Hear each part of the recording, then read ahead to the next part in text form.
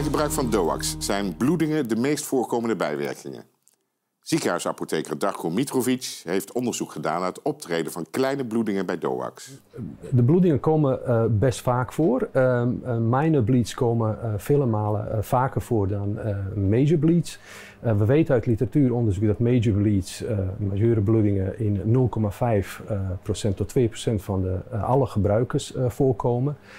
en van de minor bleeds weten we dat dat ongeveer 20 tot zelfs 50% is van DOAC-gebruikers.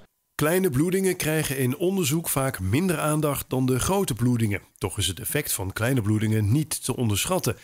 Ze hebben invloed op bijvoorbeeld kosten en therapietrouw.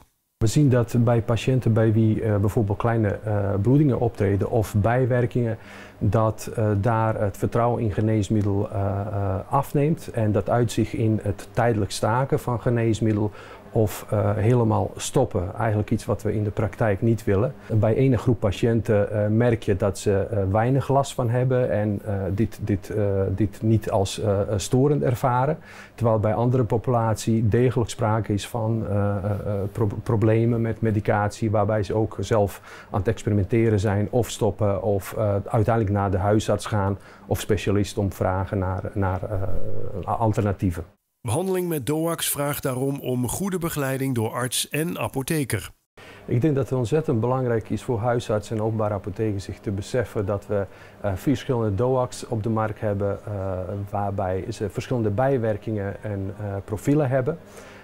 en daarnaast ook dat patiënten heel veel of vaak last hebben van deze bijwerkingen en kleine bloedingen. En dat er uh, ontzettend belangrijk is om daar een goede uh, afstemming tussen te vinden. Um, dat kan door middel bijvoorbeeld van shared decision making.